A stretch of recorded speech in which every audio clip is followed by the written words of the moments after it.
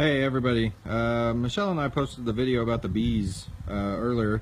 This is just an update. Um, we had to make a few modifications just because the uh, feeder that we got was too big. So you could probably see that second box uh, is different than it was before.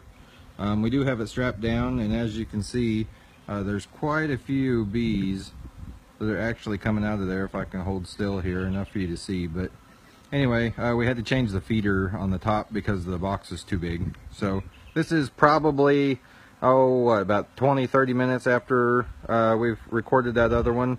Um, pretty much, uh, pretty much done and complete. I've got a couple straps on there just so the wind and stuff doesn't move it, so it doesn't, uh,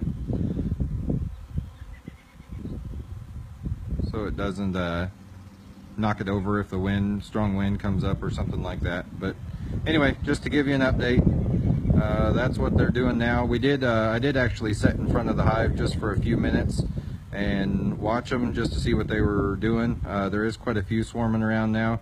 We did see some coming in with pollen, uh, which is great. Uh, we didn't really know where they were going to be getting it from. Uh, it, the flowers that are around our house have been blooming for a couple weeks uh, before this, so we were kind of worried about them uh, running out of stuff before they got here. But looks like they're finding it from somewhere. So uh, just an update. That's what our our hive looks like, and I am not close to it at all because I don't have my bee suit on. If I can back up. Yeah, there you go. That's kind of what it looks like. But sorry it's so shaky. I'll talk to you guys later. Bye.